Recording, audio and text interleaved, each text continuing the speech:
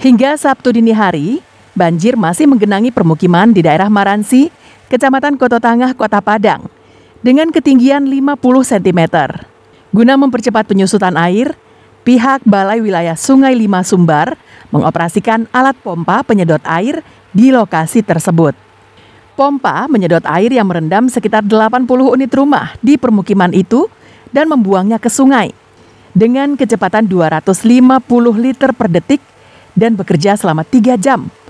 Alat ini diperkirakan mampu membuang air yang masih menggenang.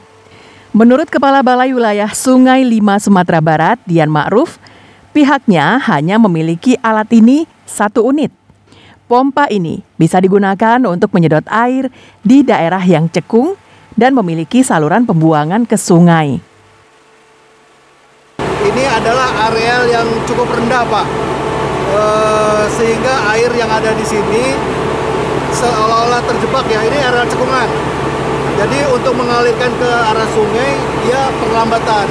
Alat ini digunakan untuk melakukan percepatan penyedotan air sehingga air yang terjebak di cekungan ini bisa segera dialirkan ke sungai. Kapasitas alat ini 250 liter per detik.